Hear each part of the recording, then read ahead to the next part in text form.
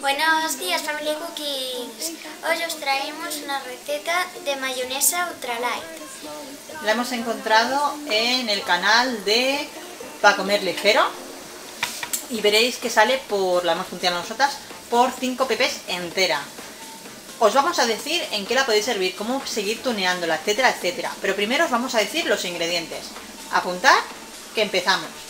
5 gramos de goma de xantana, que la podéis encontrar en herboristerías, Amazon, eh, creo que en alguna tienda de repostería la he visto alguna vez, pero bueno, no es difícil tampoco de encontrar, ¿eh? Un cuarto de cucharadita de sal o la que queráis vosotros al gusto.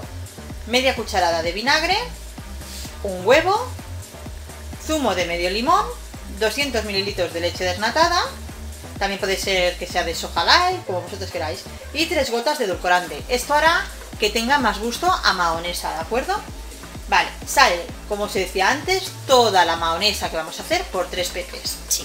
Vamos a empezar, Georgina, poniendo el huevo, que es de... ¿Dices la, empresa que nos nos mandó, por favor? Eh, granja... Es que aquí lo pone en catalán y otro en, castellano. Bueno, dilo en castellano, que tú lo sabes traducir. Granja Virgen del Rosario. ¿Vale?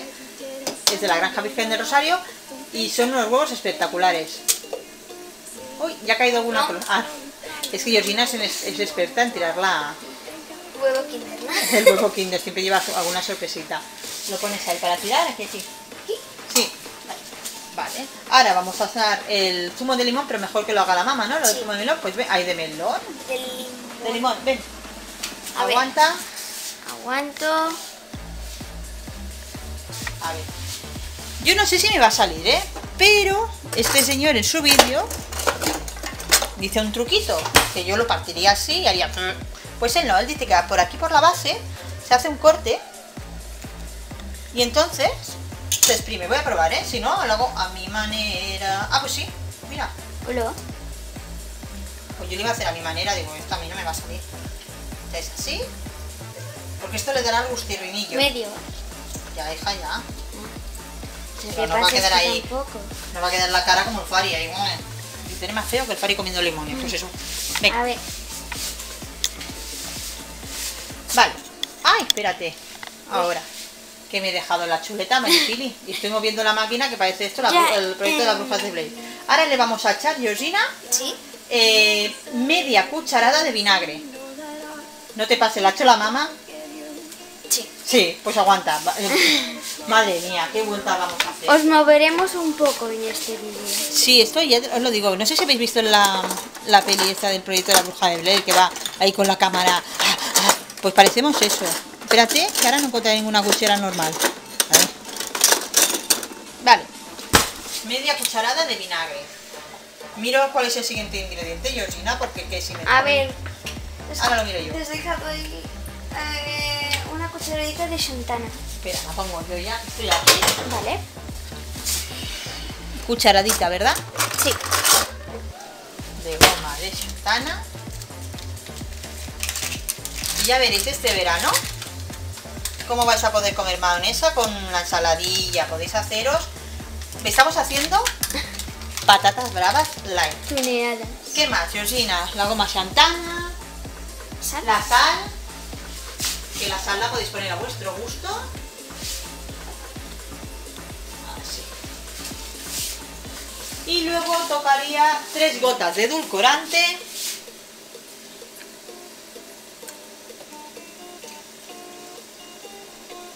Ay, coño, que me he pillado el dedo.